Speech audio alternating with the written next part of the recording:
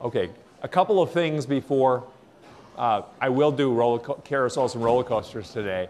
Um, first is, again, the, the, first midterm exam is in class on Monday. Uh, the only thing you need to bring is a pencil. Uh, you can, in fact, use a pen. It's just obviously you can't erase. Um, you'll, be, you'll be filling out a bubble sheet. Uh, 30 multiple choice questions very similar to previous exams, therefore, I encourage you to take the old exams. If you see stuff about electricity on the exams, you've gone to the spring course website, wrong website. Go back to, you want, you want the 1050 website. They look very similar. Okay, any questions about exam stuff? Uh, other than content, I, I, it will cover everything from day one until, including today, carousels and roller coasters. Um, fairly superficially in roller coasters and carousels because the key points are all like most what I care about in any of the sections. The specific topics I was asked a question about will, will it cover the topics that I do in class or the topics I do on the problem sets? Well, they're all fair game because they all share the same physics. So, so okay, we did this, the story of how an escalator works. Well, it's going to be very similar to the story of how a, a cable car works, carrying you up to the mountain or something like that. Um, apart from some of the details, it's the same physics. All right? I think, I think I've said everything I wanted about the exam. Oh! Yeah, well, I hate it. It's, it's related. My office hours on Monday are normally in the afternoon, 3 to 5, in Alderman Cafe. Since no one's going to come to them after the exam, you will, you know, right? I'll hold them in the morning, 9 to 11, in Alderman Cafe. So if you want, if you got questions at the last minute, come look for me in Alderman Cafe. It's the entry level of Alderman Library. Um, 9 to 11. Is that okay? And the same after class today, if you've got questions that are your, your burning questions, come on up. And, and if we get, we'll get chased out by the chemistry class, but, but we can go out in the hall and keep going. Okay, so I'll try to, to, to answer questions. Last, last thing is I left behind one of my favorite demonstrations talk about bouncing balls, an obvious one.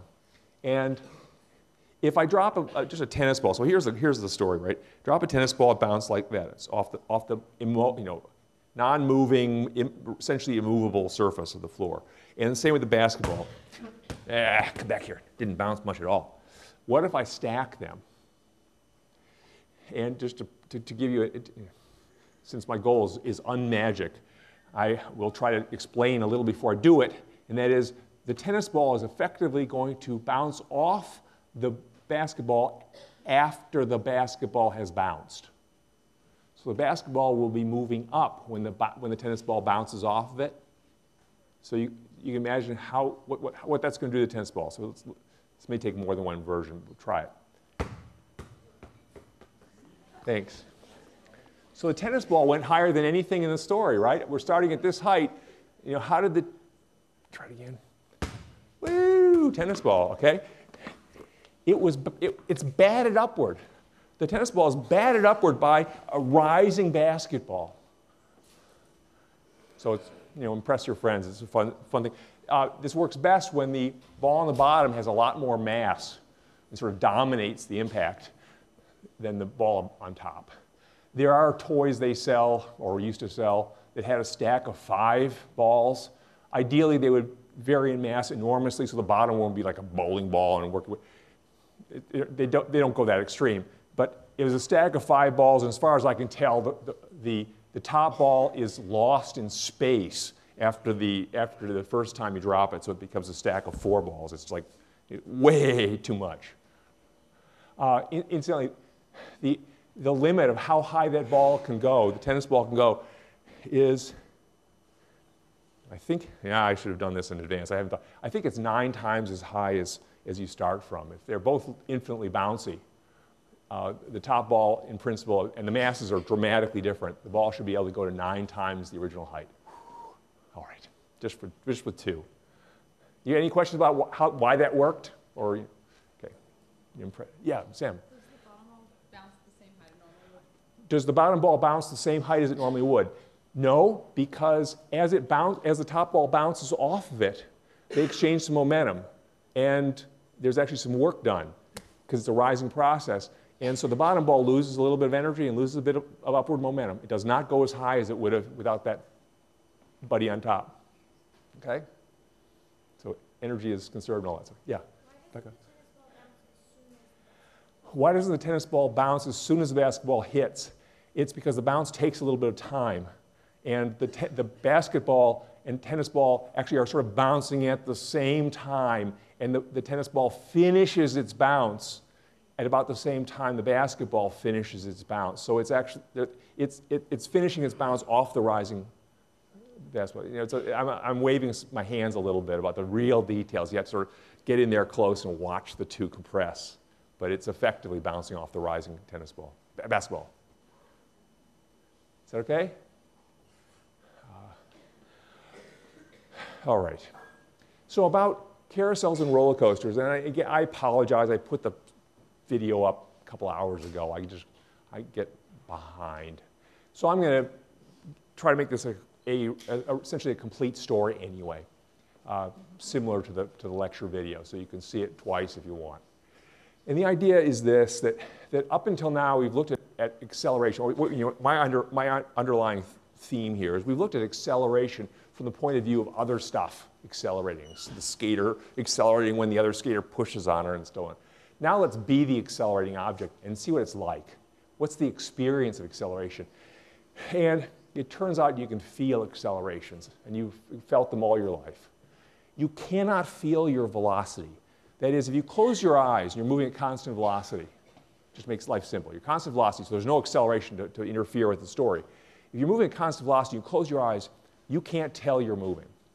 In fact, you can convince yourself you're moving differently than you actually are and you, you may well, if you're, if you're like me, sorry, if, if, if, you're like, anyway, if you're like some, if you're sort of like me, um, you've done this where you're, you're riding along, ideally not the driver of the car. You close your eyes, you're in a train or something like that, and you convince yourself you're moving the other way. You, it's, it's sort of jiggling around a little bit, maybe I'm facing backwards. Maybe I'm facing forwards. Same in an airplane. Anything where you're moving at constant velocity, you cannot feel your velocity. It's, and no instrument can figure it out either. Just by, just by looking locally, what's going on? What's going on? Am I moving? You can't tell. And, and it's, this is part of why inertia is what it is. It's, you, you, things coast. You can feel acceleration. And when you accelerate, you invariably feel a gravity like experience in the direction opposite your acceleration. I call that experience the feeling of acceleration, just to give it a name feeling of acceleration. It's not a force, it's just an experience due to your own inertia and your own body's tendency to, to, to or intent, want to not accelerate, to, to, be inertial. And, and let, me, let me walk you through this a little bit, uh, the, the, way, the way I do in the book, the way I do in the video. And so here's the story for that. How do we experience weight?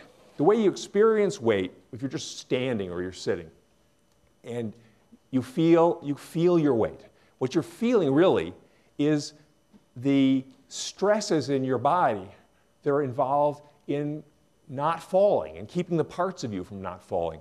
For example, I'm standing here on the ground, and the, and the ground is pushing on my feet to support my weight. So the net force on me is zero.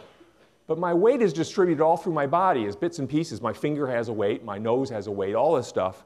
And yet, the force that's supporting all these pieces is actually exerted at my feet. So my feet are responsible for supporting my ankles, which support my knees, which support, you know, all the way up to, to my head. There's a stack of supporting processes going on, and we feel that stress inside, the need for my neck to push on my head, and so on. And you know, this is where it's wearing. It's when you get to the point at the end of the day where you feel like, I just want to lie down and get, get rid of all that stress associated with just the sheer bearing of weight. All right? So that's how we feel weight. We feel it in terms of these stresses. And what about if we're accelerating? Different, different situation. Forget about gravity and weight for the minute. And I, we're going to be in a race. I'm going to be in a race car here, right? This is, so this is a Ferrari. You know, way too much power under the hood. Um, and great traction and everything. And I stop, I'm stopped at a light, and the light turns green. I pound the accelerator, or Tesla, the obvious choice these days. Tesla in what in ludicrous mode. okay, what happens?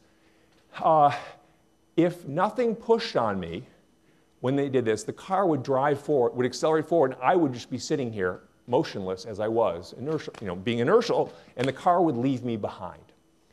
But that doesn't happen, thank goodness. The car pushes me forward to make sure I keep up with it. I accelerate with it. But that acceleration is not, is not exerted on all the little parts of me, all the little pieces of mass. My fingers got mass, my nose has got mass. All these parts need to have their own individual force on them to make them accelerate. And that's going to be the responsibility first of my back. The car is going to push on my back. My back is going to push on my middle. It's going to push on my arms and my elbows, work its way all the way to my, my finger. And get all the pieces of me accelerating to the right.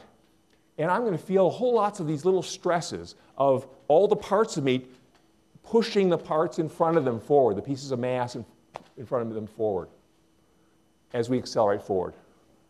So, can you visualize that experience or sort of in your mind's eye feel it? I hope you all get an opportunity to, to ride some crazy car that accelerates like that. Or, or there's some, there's some uh, gadgets at, at roller coasters, uh, amusement parks. The volcano at King's Dominion, I used to do this where, where it's got really powerful motors that propel it. There are probably lots of them now. I haven't been to King's Dominion for a while. But these really rapidly accelerating roller coasters, you, oh, you just you feel your whole body's inertia trying not to accelerate like that. And the experience that you're feeling when that acceleration is occurring is these stresses and they sure feel like, like weight, but not weight from the earth pulling you straight down. It's like a weight opposite the acceleration. So if you're accelerating to the right, you feel this experience pulling you to the left. All right? Hopefully, you, you, can, you can bring this back up from your memory of, of many, many such experiences. And you can't really tell the difference between the feeling of weight, which is this downward pull that we identify from, from feeling the stresses in us. You can't distinguish that from the feeling of acceleration, which, if I'm accelerating to the right, is toward the left and involves all these stresses. They feel the same. So, one of them is actually your weight acting, and that's straight down, and we know the value. It's, you know, it's what, what the scale reports when you're standing motionless. The, the value of the feeling of acceleration it's, it's always in the direction opposite the acceleration, simple as that. And the strength of that feeling, of that, you know, as, as compared to gravity, the, the, as, as compared to the, the experience of bearing your own weight, it is as strong as your weight if you're accelerating at 9.8 meters per second squared. So if you accelerate at the, at the same rate as falling, you experience a, a 1g feeling of acceleration, one gravity. So uh, cars rarely, most cars cannot accelerate at 1g because their tires won't grip the road enough. The, the, the sliding, the static friction fails. But you can get high stick tires. Um, maybe once or twice in my life, I've, I've been in a car that, that, that could handle this, that could accelerate it more than 1g. Um, and Drag racers certainly do, but they, make, they practically have adhesive tires. They're, they're almost gluing themselves to the road. Anyway, you can, as you accelerate forward at, at, at 9.8 meters per second square, which is a ferocious acceleration, aircraft, yeah, barely, um, you get, you, you, it feels like your full weight pulling you in the opposite direction. And this has nothing to do with gravity at, at this moment. So we're okay with that?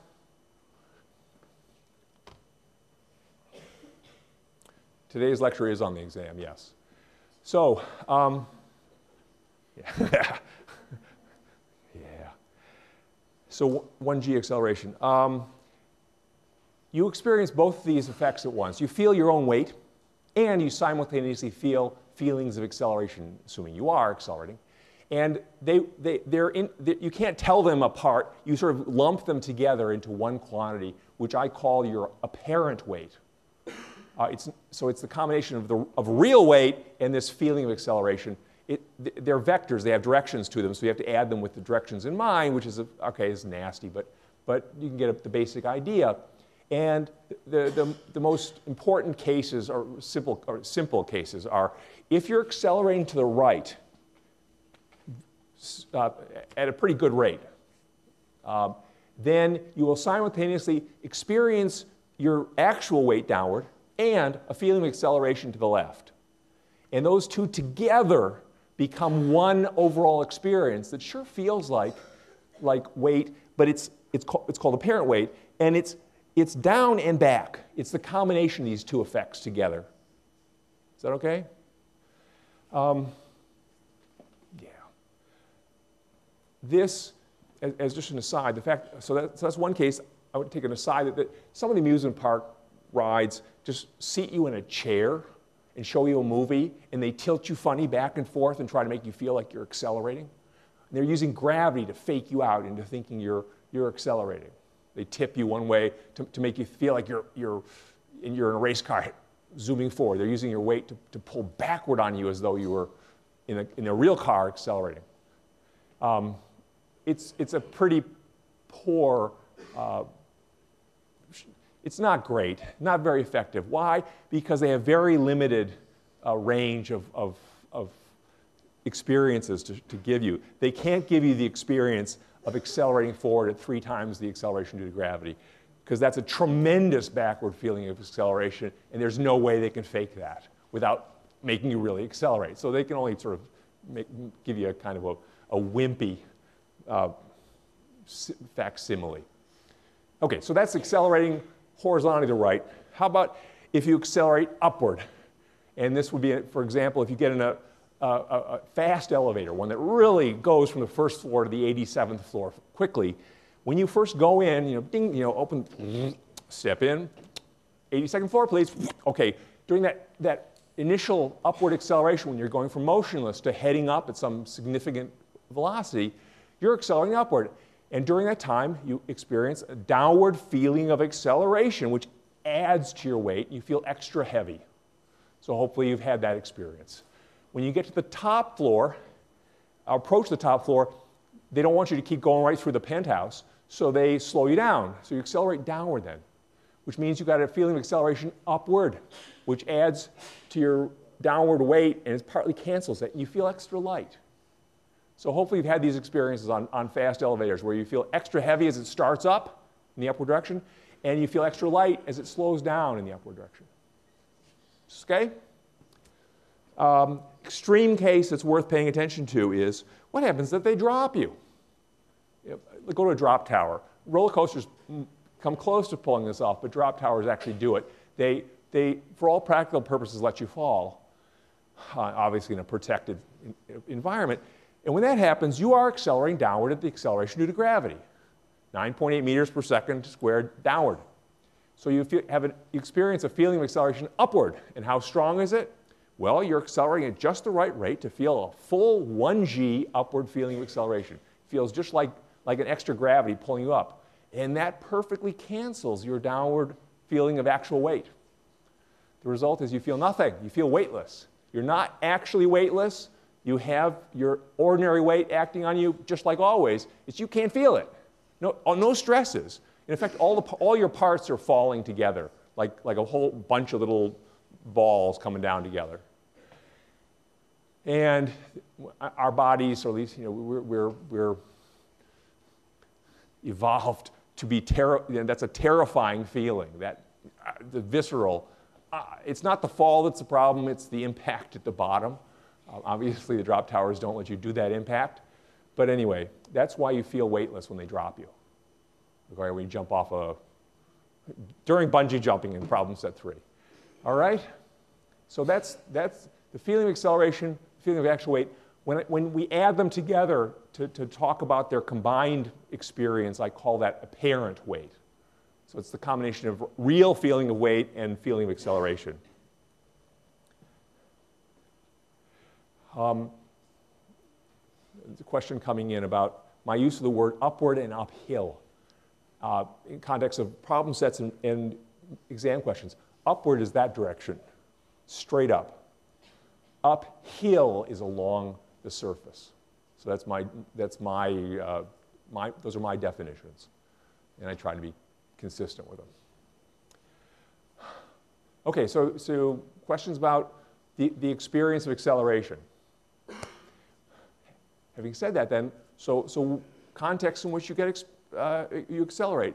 The first one, the simplest, most uh, pedestrian, is a, a, carousel or equivalent a merry-go-round. I thought they'd entirely disappeared from uh, Charlottesville, but they're actually, I found a merry-go-round recently. I think it was at uh, yeah, Greenleaf Park, had a merry-go-round. Yay! Point is this, when you're on a carousel, let's put you back on a carousel, something, same physics as the merry-go-round. You're going around in a circle. In fact, sort of the middle of the ride, it's been going on for a while. Let's, let, you can be on a bouncing horse if you like, but let's, let's, let's get you off the, off the bouncing horse and just have you seated on one of the ones that doesn't move. I know it's more boring, but that's life. So you're, you're going around. You are not inertial. Your net, the net force on you is not zero, because, and you are accelerating. Why? Your speed is constant. So you're covering the same distance every fraction of a second. But your direction of travel is changing continuously. You know, this is my direction of travel. I'm pointing at it. It's, it's changing as I go around in the circle. So you're accelerating. That definitely counts. So anytime you're going around a curve or you're traveling in a circle, your, your, your path is bending, you are accelerating. And that just leaves us with the question, okay, so, so in which direction are you, tra- are, you accelerating? It turns out that if you're traveling at, at a constant speed in a real circle, you are accelerating exactly toward the center of that circle.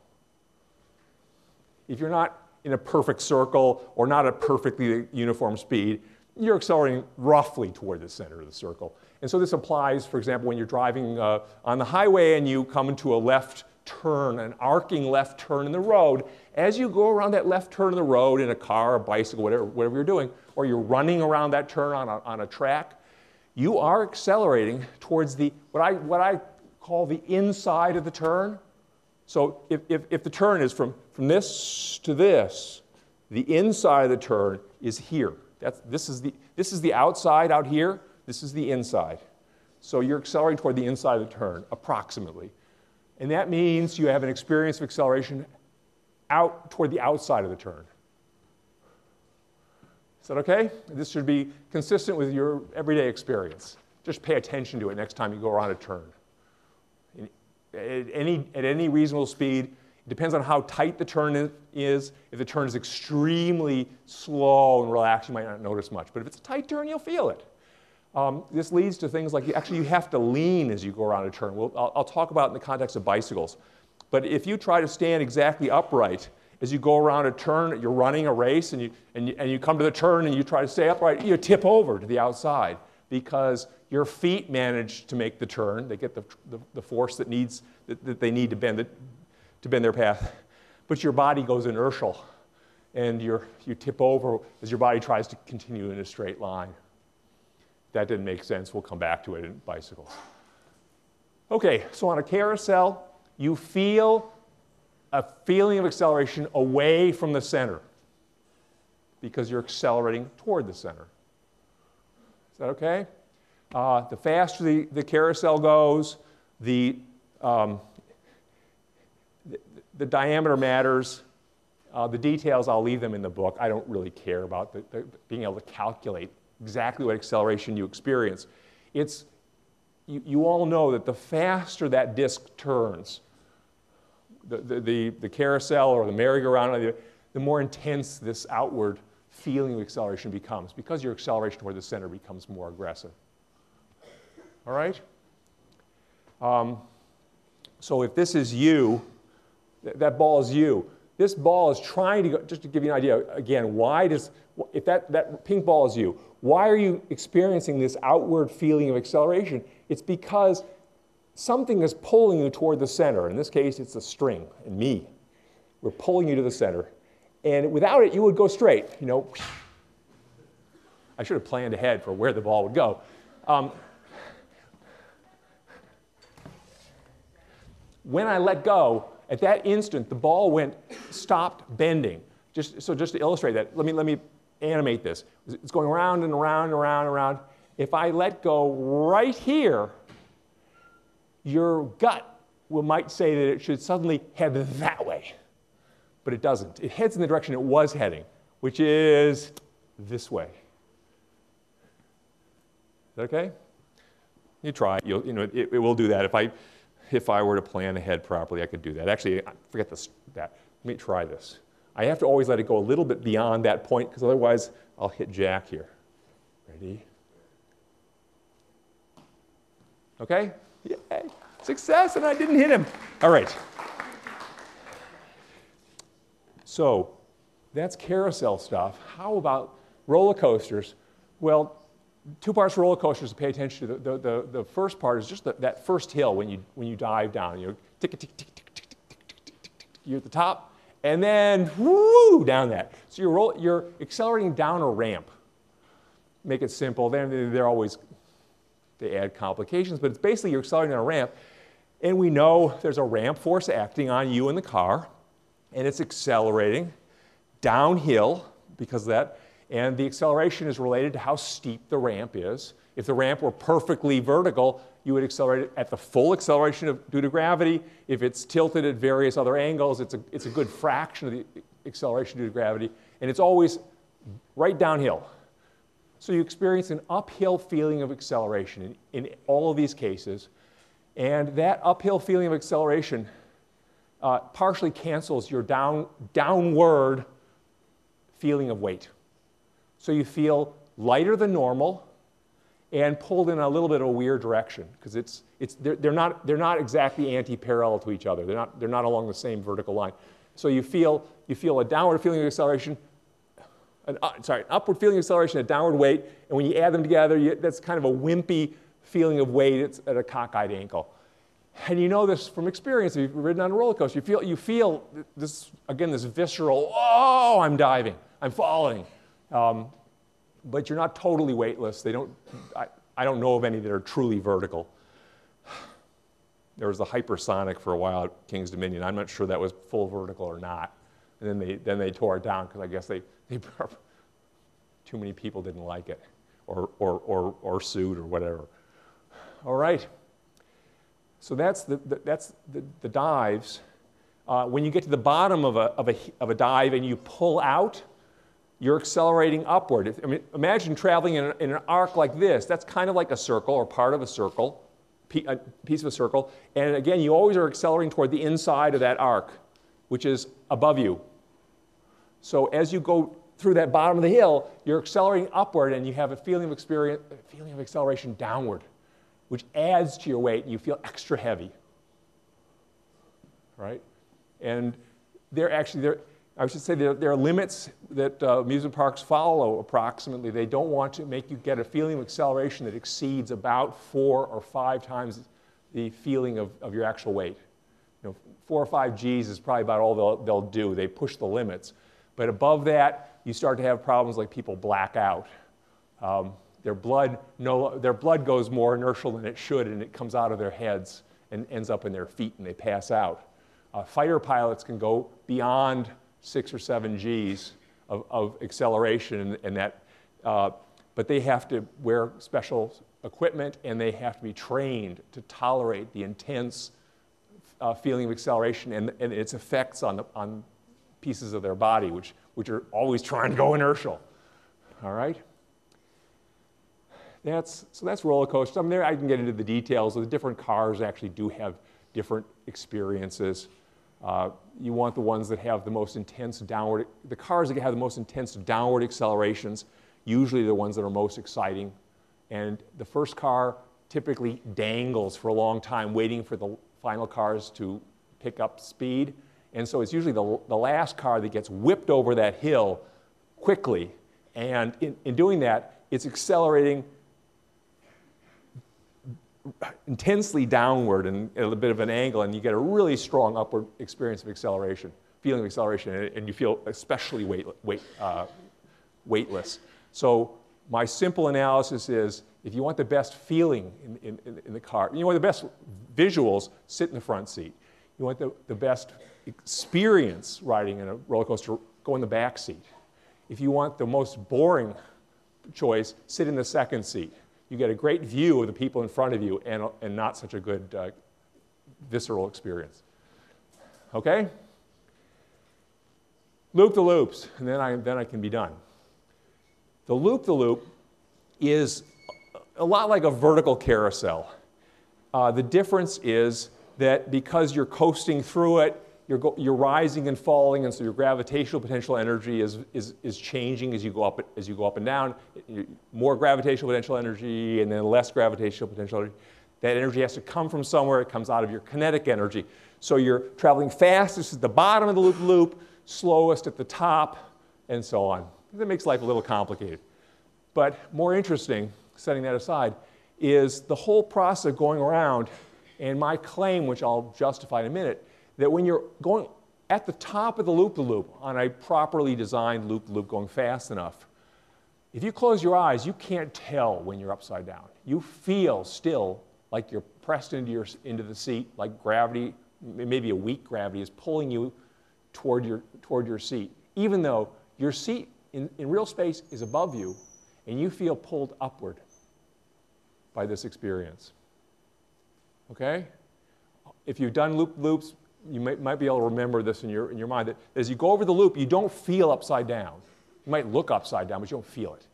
Uh, if they make you go through the loop very slowly, which some of them do, they just take you through typically a corkscrew or something like that. They, they actually hang you upside down. In that case, yeah, you're quite aware that the ground is, the ground's below you, you're hanging upside down. Stuff is falling out of your pockets, your hat falls off, your eyeglasses, all that stuff. But when you go around a proper loop loop full, at full speed, you, nothing comes out of your pockets. If you drop coins, they fall into the bottom of the, of the, of the they fall into the car, amazingly enough, even though that, that is above them. So I'll, so I'll try to give you an idea of why. Um, how, do I, how do I want to do this? If the, the ball by itself if I just throw it, of course, it tries to go straight, apart from gravity. And gravity in, in, the, in this part of the story is going to be relatively unimportant. So if I just threw it straight and fast, it would go straight, right? Uh, uh, inertial.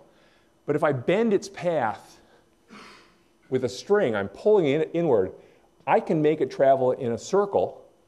It's, it's this, I can, you can view this sort of as a battle between the ball wanting to go straight and the string saying, uh-uh, you're going to accelerate towards my hand. And so the ball then, then its path bends. It's traveling at essentially constant speed, but its path is bending into a circle. Okay? So this is the horizontal version, and therefore very similar to the carousel. But I can also go to a vertical, vertical version. Now gravity is involved a bit. Whenever the ball is at the bottom, uh, I'm pulling up, gravity is pulling down, so I actually have to pull extra hard to, to, to bend the path properly. When the ball is at the top, the string and the gravity are both pulling in the same direction. So gravity is helping me bend the path of, of the ball. But it's not enough all by itself. Gravity is not enough. The weight of the, the weight of the ball is not strong enough to bend its path in this tight and fast a circle. If I let only gravity do this, let me try this. I let only gravity do the bend. It travels in a, in a much broader arc. So I'm tightening the arc. Gravity, yeah, it'll make a, it'll make a downward facing arc, but I'm, making, I'm causing it to bend even tighter than that. So the acceleration of the ball near the top of that arc is downward toward the center of the circle approximately, and it's actually faster than the acceleration due to gravity. And um, I actually ha I had, a, yeah, do I want to do this? Yeah, sure. Um, let me go to this question. If a ball is, is falling past you, so somebody dropped it from the, the, the high rise next door, and you, here comes the ball, can you reach out and push downward on that ball? You okay with the question? It's, yeah, it's up there.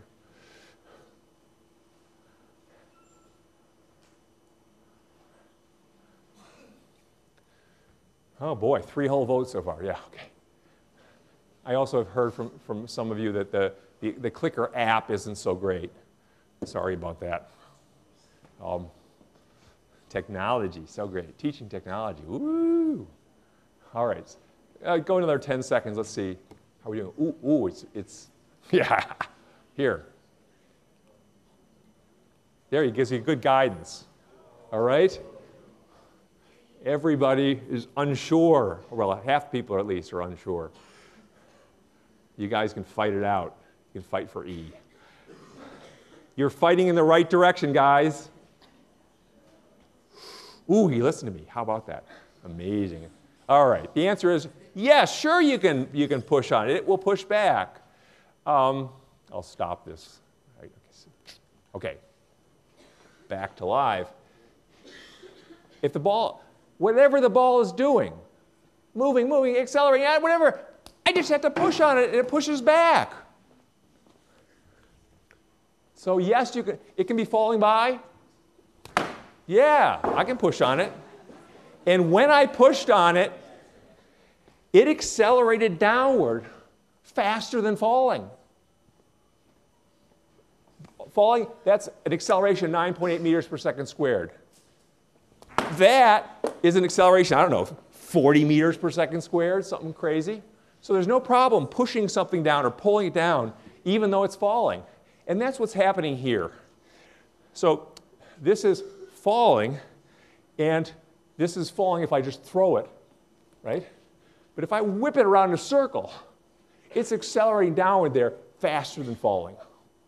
You okay with that idea?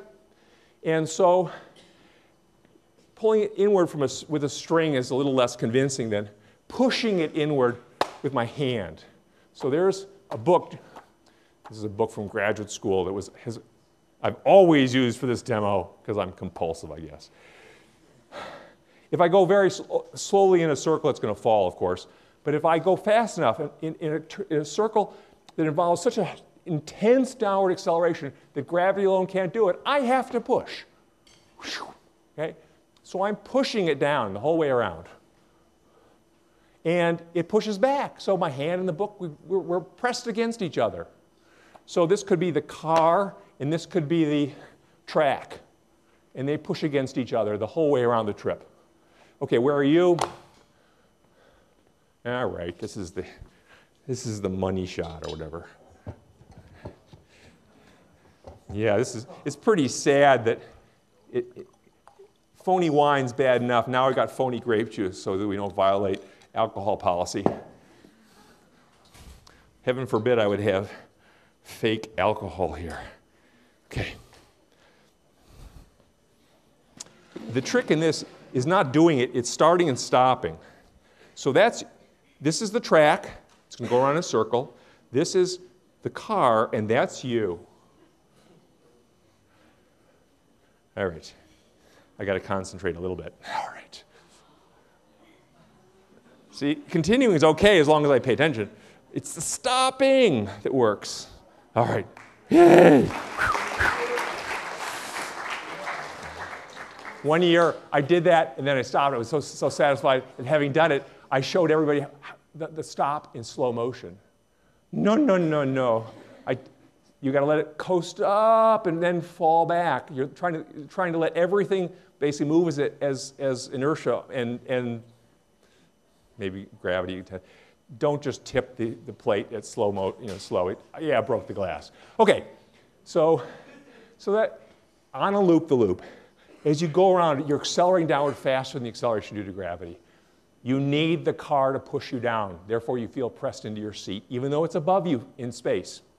And you experience a feeling of acceleration that's upward and that is stronger than the acceleration, stronger than your actual experience of weight. So you feel an upward apparent weight. You feel as though you're pulled toward the sky by something that's gravity like. Okay? What else? Um, last thing to, with this, to, just to show you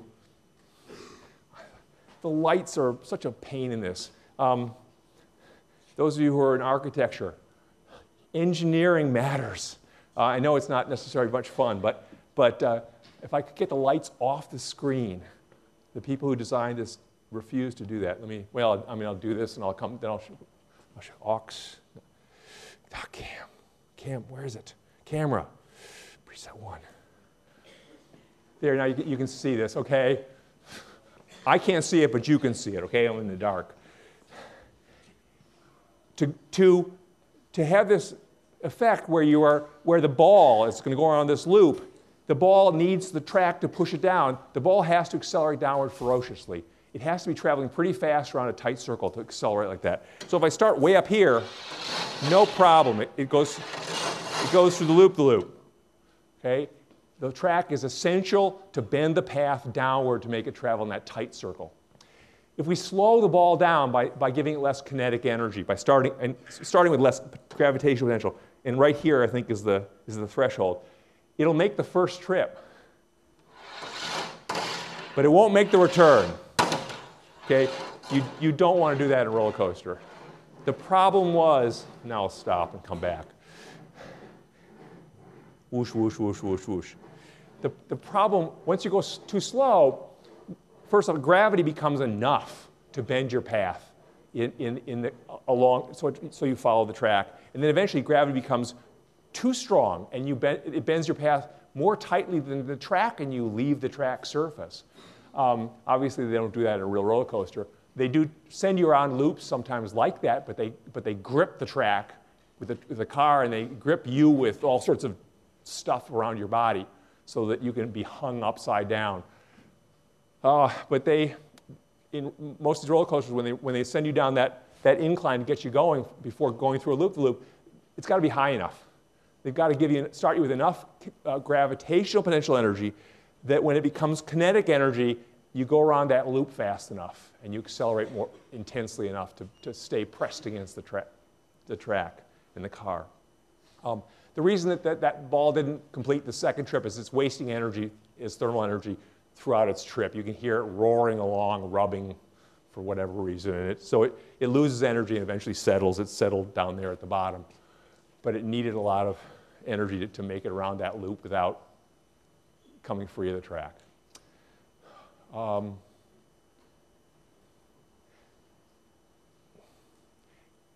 any, let me look at this. What forces act, act on you when you ride a carousel? As you're going around the carousel, you're accelerating toward the center, after all, right? So, whatever you're standing on or sitting on, or you're on a horse, whatever, it is exerting the force necessary to support your weight. So, that's an upward part of its push, but it's also pushing you toward the center. Without that push toward the center, you would go straight and you will leave the carousel. So, if you take a merry-go-round, um, and you, when you start spinning it faster and faster, you, you, if you've ever done this as a kid, you know you got to grab onto stuff because you need an intense force toward the center to bend your path in that tight circle. And if, if you run out of force, you're going to go right off the merry-go-round. Several years ago, somebody gave me a link to a video. This is, this is so long ago that it was like maybe before YouTube. Anyway, they had two kids on a merry-go-round and somebody with a moped spinning up the merry-go-round with the rear wheel. And you see the kids going faster and faster and faster. Then, in a single frame, the kids disappear from view. I never, I don't want to know what happened, but I think they didn't have enough uh, inward force to bend their path anymore, and they went straight. All right? All right, I said it. Other questions? Yeah. Tori. Um, so you just talked about how like when we accelerate like inward, we feel like we're accelerating outward. Why is that? When, when we when we accelerate inward toward the center of the merry-go-round, we feel pulled by sort of a gravity-like experience outward. It is not a real force. There's nothing pulling you outward. It's just your body's inertia trying to make you go straight. Okay? And actually, I had th- this other question I can ask you guys. I know it's at the very last minute here. You're a passenger in a car that is turning left, and you find yourself thrown against the door to your right. Is there a force pushing you toward the door? You okay, the question?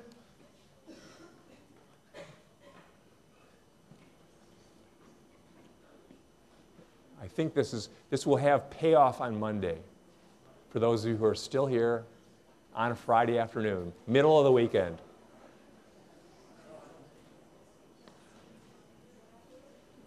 Five, four, three, two, one. Be it is. There is no force pushing you toward the door. Instead, what you're, what you're feeling is your body's inertia trying to make you go straight. So the car is trying to, you know, the car's potentially driving out from under you to the left. You're sort of staying still, and the car's door has to come along and push you to bend your path to stay with the car. So you are genuinely being pushed by the door. It's pushing you toward the center of the, the inside of the turn.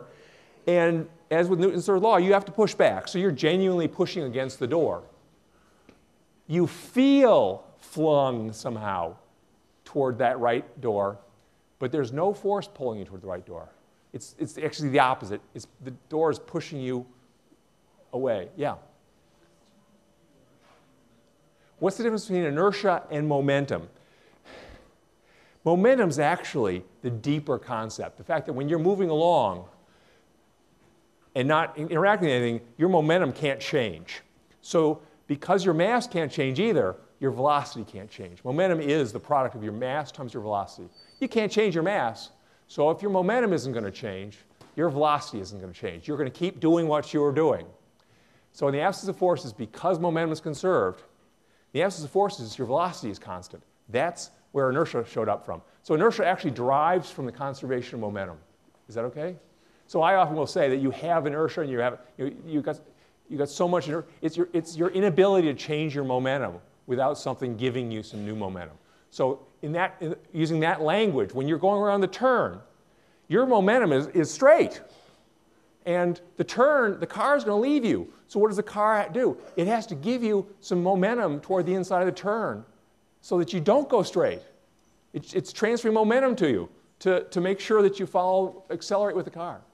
Is that okay? I mean, it's a, it's a good question and it sort of brings up, I mean, I hope you can follow that, that idea that, that lots of concepts in physics are related to other concepts or, or sort of essentially derived from them. They're simplified versions or there are consequences of other concepts. So the conservation of momentum has all this influence on, on things that happen around us. And we can talk about it as inertia is one of the consequences of this idea of inertia. Objects at rest stay at rest, objects in motion stay, tend to stay in motion. That's because momentum is hard to change. Is that okay?